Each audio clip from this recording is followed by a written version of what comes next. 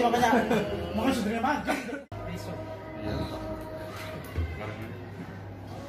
Kemudian ayahnya membentuk tentara.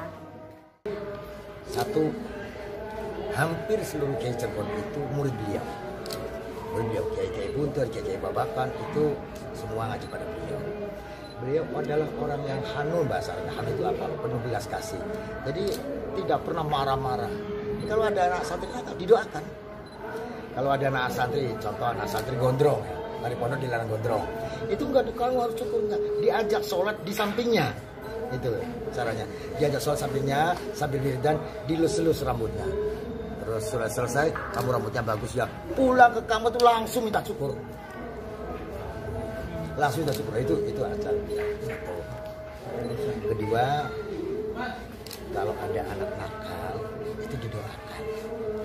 Dia sambil mendoakan kepada saya dan kawan-kawan mengatakan siapa sih yang pengen anak nakal? Semua pengen anak yang baik.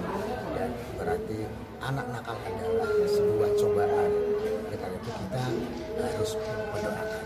Jadi pakainya apa? Pakainya rasa ya pakainya hati. Siapa pun tidak akan mau mempunyai anak nakal. Kalau ada anak nakal itu berarti musibah bagi orang tua itu luar biasa belum jangan dimarahi jangan di apalagi disakiti apalagi disetrak jangan belum tentu anak kita juga tidak nakal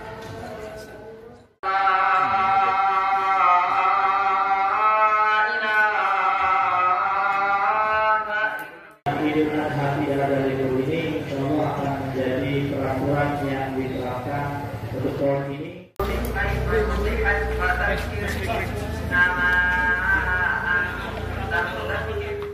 Seperti di pondok-pondok pesantren yang lain. Oh, ini juga insya Allah haulnya